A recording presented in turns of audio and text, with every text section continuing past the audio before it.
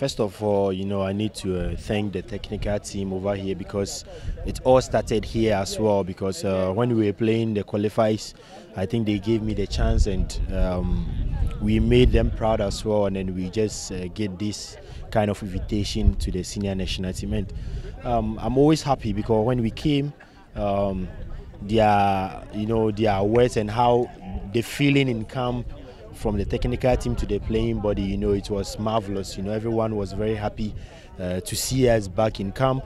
And uh, even the day yesterday that we trained together, you can see the feeling was very great. So, um, with all this good relationship between we and the playing body and the te- technical team as well, I think uh, we can give a good performance in the upcoming tournament. And I believe, inshallah, with the support of Ghanaians, we will go far. As a goalkeeper, you need to help your team to. Um, to to to pass the group stages because I always have my targets uh, for tournament. And uh, when uh, you are approaching tournaments the main objective or the main key is to qualify the team from the group stages because that is a very difficult um, like um, let me say stage you know because you are playing three games and you need to win or you need to get uh, four to five points and then you qualify the team. So, first of all, we have to qualify the team. And as a goalkeeper, you need to get clean sheets. When you get maybe three clean sheets or two out of three, definitely you will help the team to um, to qualify